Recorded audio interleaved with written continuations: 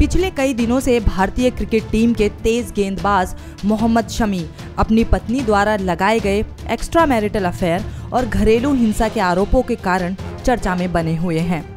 इस बीच करीबी सूत्रों द्वारा दंपति के बीच दरार डालने की वजह बनकर करोड़ों की मार्केट वैल्यू वाला एक फार्म हाउस सामने आया है, जिसके साइन बोर्ड पर आज भी हसीन जहान और मोहम्मद शमी का नाम लिखा है। लोगों की माने तो दोनों की झगड़े की वजह ये फार्म हाउस भी हो सकता है। शमी अहमद का फार्म हाउस है। खरीदा था उन्होंने, पहले सुनने में आया था कि उनकी जो है, घरवाले का भी पार्टनरशिप है, लेकिन अब सुन रहे हैं कि नहीं है उसमें। अब मामला क्या है? बहरहाल इस पार्टनरशिप से लेकर के है या क्या और कोई वजह है? ये तो नहीं कह सकते हम लोग श्योरली तो नहीं कह सकते। उनका परिवार का मसला वही ज़्यादा बताएँगे। हालाँकि इसकी पुष्टि के लिए कोई सामने नहीं आया है, पर गाँव के कुछ लोग दबी ज़ुबान में इसकी हामी ज़रूर भर रहे हैं। विनीत अग्रवाल के साथ प्रियंका की report, Navodaya Times, Amroha, UP.